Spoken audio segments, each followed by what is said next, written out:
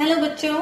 आज का हमारा टॉपिक है abnormal values of colligative properties so students पहले हमने कॉलिगेटिव प्रॉपर्टीज़ डिस्कस कर रखी है है ना? Colligative properties means those physical properties of solution which depends upon number of solute particles not their composition हमने देखा था कि वाटर का बॉइलिंग पॉइंट फिक्स है, लेकिन अगर उसी वाटर में मैं शुगर मिला दूँ तो मैं क्या देखूँगी? बॉइलिंग पॉइंट बढ़ जाएगा। मीन्स बॉइलिंग पॉइंट एलिवेशन अगर उसी वाटर में मैं शुगर ग्लूकोज या यूरिया कुछ भी मिला दू तो फ्रीजिंग पॉइंट कम हो जाएगा। Means freezing point depression next हमने पढ़ा था relative lowering of vapour pressure और फोर्थ था ऑस्मोटिक प्रेशर तो ये सारी जो प्रॉपर्टीज़ थी, ये हमने कौन सा सॉल्यूट मिलाया है? उस पर डिपेंड नहीं करती है। क्या मिलाया है? उस पर डिपेंड करती है। क्लियर स्टूडेंट्स अब आप देखो ग्लूकोज यूरिया शुगर फ्रेक्टोज है ना? अगर मैंने वन मोल ग्लूकोज डिजोल्व किया है तो ग्लूकोज का फॉर्मूला है C six H twelve O six अब ग्लूकोज वाटर के साथ हाइड्रोजन बॉन्ड बनाता है दैट्स वाई वाटर में सॉल्यूबल है। लेकिन किसी तरह से डिसोसिएट नहीं होता, है है ना स्टूडेंट तो अगर मैंने वन मोल डिजोल्व किया है तो वाटर में जाके वन मोल ही है। लेकिन अगर मैं एनएसीएल की बात करूँ तो एनएसीएल वन मोल है ना? और वाटर में जाएगा तो एन प्लस और सीएल माइनस तो हम तो ये सोच रहे कि हमने वन मोल डिजोल्व किया है बट वाटर में जाके वो दो मोल में टूट गया, है ना? तो हम क्या देख रहे हैं कि properties which depends upon number of solute particles तो जब आप वाटर में सॉल्ट ऐड करोगे तो नंबर तो बदल गया। मतलब प्रॉपर्टीज़ क्या हो गई? बदल गई। तो इस सिचुएशन में प्रॉपर्टीज़ को हम बोलेंगे abnormal values of colligative properties है ना? क्योंकि जो हमें आंसर चाहिए वो आंसर नहीं मिलेगा पार्टिकल्स का नंबर चेंज हो गया. अब सिर्फ़ डिसोसिएशन नहीं स्टूडेंट्स एसोसिएशन का केस भी होता है. फॉर एग्ज़ाम्पल एसिटिक एसिड को हम सॉल्वेंट बेंजीन के अंदर डिजोल्व करते तो ये डाइमर बना लेता है. तो अगर मैं आपको कहूँ कि मैंने ten mole dissociate ten mole dissolve किया तो डाइमर बना लिया, यानी दो दो मॉलिक्यूल जुड़ गए तो टेन मोल तो हमने डिजोल्व किया। अब वो अपने सॉल्वेंट में जाके दो दो मॉलिक्यूल जुड़ गए तो पाँच हो गया। तो फिर से क्या हो गया? Number of solute particles change हो गया। तो दो वजह है, दो रीजन है जिससे number of solute particles change हो सकता है। एक तो एसोसिएशन और एक डिसोसिएशन अब अगर सॉल्यूट का न तो डिसोसिएशन होता है और ना ही एसोसिएशन मतलब न तो वो पार्टिकल्स में डिसोसिएट यानी डिवाइड होता है, टूटता है और एसोसिएशन मतलब डायमंड नहीं बनाता ट्राइमंड नहीं बनाता। तो जो वैल्यू मिलेगी those values are normal values और थ्योरिटिकल वैल्यूज़ है ना? For example one M glucose one M sugar one M urea इनमें से किसी को भी आप वाटर में डिजोल्व करो तो आपको उतना ही बॉइलिंग पॉइंट एलिवेशन मिलेगा। उतना ही फ्रीजिंग पॉइंट डिप्रेशन मिलेगा, है ना? क्योंकि कंसेंट्रेशन क्या है? सेम है है ना? तो नंबर ऑफ़ सॉल्यूट पार्टिकल्स क्या होंगे?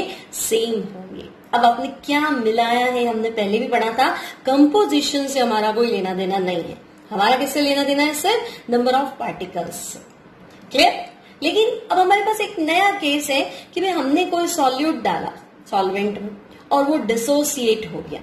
अब डिसोसिएट हो गया मीन्स नंबर ऑफ़ पार्टिकल्स क्या हो गए? इंक्रीज हो गए। या फिर मैं कह रही हूँ, नहीं एसोसिएट हो गया। है ना? मतलब डाइमर बन गया ट्राइमर बन गया। तो डाइमर मतलब पार्टिकल्स आधे हो गए वन बाय टू ट्राइमर मतलब तीन तीन जने जुड़ गए। तो पार्टिकल्स कितने हो गए? वन बाय थ्री तो एसोसिएशन के केस में नंबर ऑफ़ पार्टिकल्स क्या हो जाएँगे? डिक्रीज हो जाएँगे। अब स्टूडेंट्स सॉल्यूट का अगर डिसोसिएशन हुआ तो पार्टिकल्स इंक्रीज हो गए। और एसोसिएशन हुआ तो पार्टिकल्स डिक्रीज हो गए। इन दोनों ही सिचुएशन में जो कॉलिगेटिव प्रॉपर्टीज़ की वैल्यू होगी, उन्हें हम बोलेंगे एबनॉर्मल वैल्यू और ऑब्ज़र्व वैल्यू क्लियर तो नो एसोसिएशन नो डिसोसिएशन तब हमने देखा था नॉर्मल वैल्यूज़ और थियोरिटिकल वैल्यूज़ है ना? मतलब जो आपने फॉर्मूला पुट किया, आपका आंसर है दीज आर थियोरिटिकल वैल्यूज़ लेकिन एसोसिएशन और डिसोसिएशन तो हमें चेक करना पड़ेगा पार्टिकल्स कम हुए या ज़्यादा हुए और कितने हुए? तो जो वैल्यूज़ है दोज आर एबनॉर्मल और observe values so van't Hoff ने क्या किया? इन दोनों वैल्यूज़ में रिलेशन स्टैब्लिश किया। अब इसे हम वेंट ऑफ़ फैक्टर आई से डिनोट करते हैं। तो आई क्या है? तो हम कहेंगे I equals to observe values of colligative properties upon theoretical values of colligative properties. आपको लर्न करना है ओटी ओटी मतलब ऑपरेशन थिएटर। यहाँ पे क्या है? O means observe T means theoretical तो van't Hoff factor i equals to observe values of CP colligative properties upon theoretical values of colligative properties. Now student colligative properties क्या होती है? जो नंबर ऑफ़ सॉल्यूट पार्टिकल्स पे depend करती है। तो observe values मतलब ऑब्ज़र्व मोल्स कितने? और थियोरेटिकल वैल्यूज़ मतलब थियोरेटिकल मोल्स कितने हैं? तो हम ऐसे भी कह सकते हैं I equals to observe moles of solute upon theoretical moles of solute अब मोल्स का फॉर्मूला आपको पता है? Mole equals to mass upon molar mass तो हम क्या देख रहे हैं कि मास तो जो है वही है है ना? लेकिन मोलर मास जो है, जब हम डिफाइन करेंगे मोलर मास फाइन करेंगे तो एसोसिएशन या डिसोसिएशन के केस में चेंज हो जाएगा। और चेंज हो जाएगा तो वैल्यू जो हो जाएगी, वो क्या हो जाएगी? ऑब्ज़र्व हो जाएगी। तो मोलर मास के इनवर्स प्रोपोर्शनल होने की वजह से आई हो गया आपका theoretical molar mass upon observe molar mass clear students अब आई है आपका ओटी है ना? ऑब्ज़र्व अपॉन थियोरिटिकल चाहे वैल्यू हो क्वालिटेटिव प्रॉपर्टी की, चाहे मोल, और मोलर मास में इन्वर्स कर दो। अब हम क्या देख रहे हैं? इन केस ऑफ़ डिसोसिएशन यानी पार्टिकल्स जो है वो डिसोसिएट हो गए, टूट गए, है ना? जैसे एनएसीएल तो हम तो वन मोल डिजोल्व कर रहे हैं, लेकिन वाटर में जाके एन अलग सीएल अलग तो दो मोल हो गए। तो इन केस ऑफ़ डिसोसिएशन क्या होगा? ऑब्ज़र्व मोल्स ज़्यादा हो जाएँगे। किससे? थियोरिटिकल मोल्स से। तो observe moles greater than theoretical moles तो i will be greater than clear क्योंकि आई क्या है?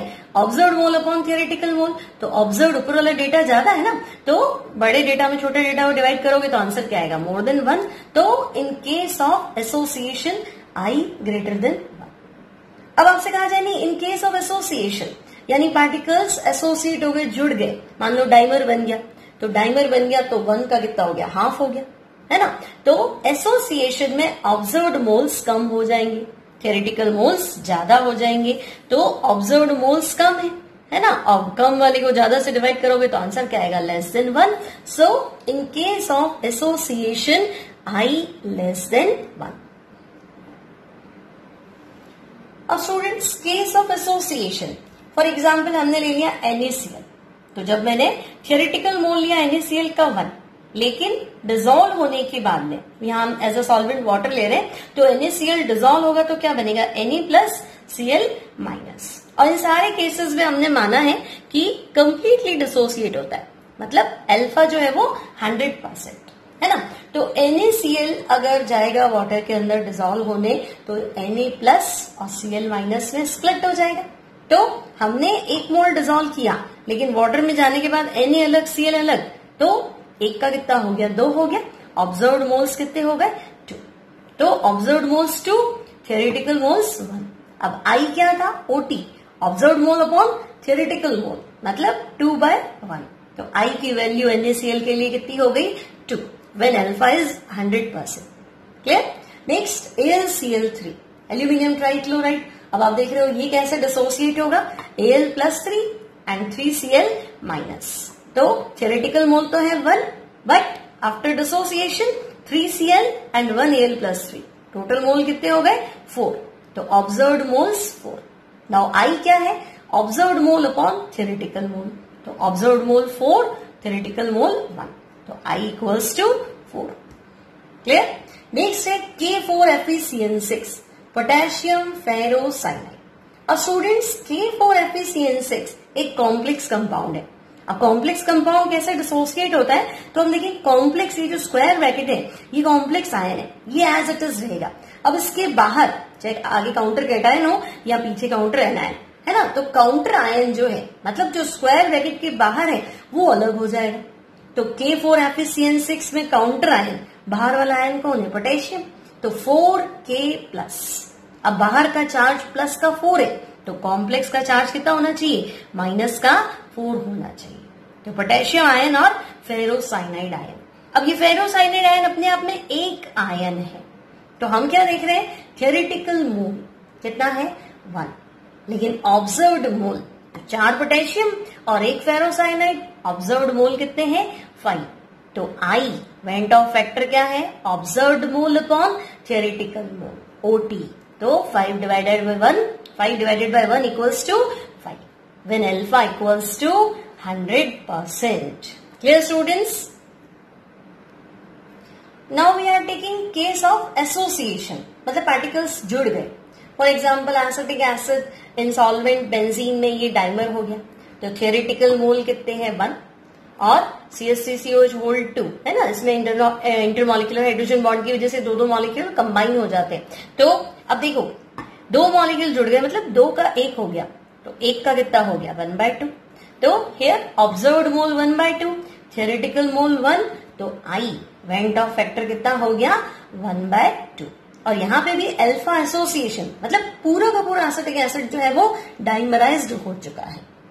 क्लियर सिमिलरली थ्री ए है ना? एक एटॉमिक स्पीशीज है ए थ्री ए इसके थ्री मॉलिक्यूल्स है.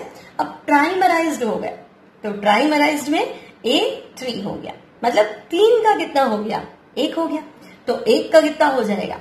वन बाय थर्ड तो observe mole one by three और थेरेटिकल मोल वन तो I will be one by three in case of trimerization now students next topic है observe values of colligative properties अब हमने four types की colligative properties पढ़ी थी. First थी relative lowering of vapour pressure अब मैंने आपको कहा था, कभी भी नॉन वॉलेटाइल और नॉन इलेक्ट्रोलाइट सॉल्यूट आपने मिला दिया, है ना? तो वेपर प्रेशर जो है सॉल्वेंट का, वो कम हो जाता है। अब वेपर प्रेशर में ये जो कमी है that is lowering of vapour pressure और इनिशियल से डिवाइड करते हो तो relative lowering of vapour pressure अब हमने राउल्स लॉ देखा था तो राउल्स लॉ क्या कहता है? P naught minus P S upon P naught है ना? पी नॉट है आपका सॉल्वेंट का वेपर प्रेशर पीएस है सोल्यूशन का vapour pressure equals to small W capital M capital W small M अब यहाँ डब्ल्यू है वेट स्मॉल मतलब सॉल्यूट का, और एम है मॉलिक्यूलर वेट स्मॉल मतलब सॉल्यूट कैपिटल मतलब सॉल्वेंट अब ये तो हमारा सिंपल थियोरिटिकल फॉर्मूला है। अब मैं आपसे कहूँ कि नहीं, मुझे relative lowering of vapour pressure की ऑब्जर्व्ड वैल्यूज़ चाहिए। तो ऑब्जर्व्ड वैल्यूज़ फाइंड करने के लिए आप क्या करेंगे? जो आपका फॉर्मूला है multiply by van't Hoff factor है ना? फॉर एग्ज़ाम्पल अगर ग्लूकोज है तो ग्लूकोज का वेंट ऑफ़ फैक्टर तो वन ही है। क्योंकि नो एसोसिएशन नो डिसोसिएशन तो आपका आंसर यही रहेगा। लेकिन अगर एनएसीएल है तो वेंट ऑफ़ फैक्टर कितना हो गया? टू तो आपको पूरे आंसर को टू से मल्टीप्लाई करना पड़ेगा।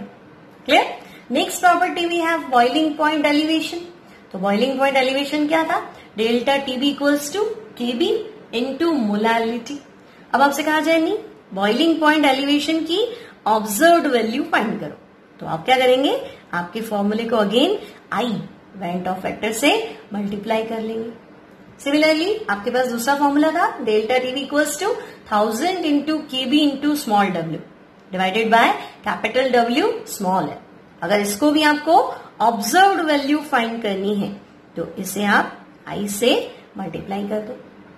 क्लियर स्टूडेंट नेक्स्ट हमारे पास था freezing point depression formula same था डेल्टा टी एफ़ है ना? इस बार के की जगह क्या है? के एफ़ है. तो के एफ़ इंटू मोलालिटी अब आपसे कहा जाए नहीं ऑब्ज़र्व वैल्यू तो आप क्या करेंगे? आई से मल्टीप्लाई कर लेंगे. नेक्स्ट फॉर्मूला था delta T F equals to thousand into K F into small W upon capital W small M तो इसको भी हम क्या करेंगे? अगर ऑब्ज़र्व वैल्यू चाहिए एबनॉर्मल वैल्यू चाहिए तो हम आई से मल्टीप्लाई कर देंगे।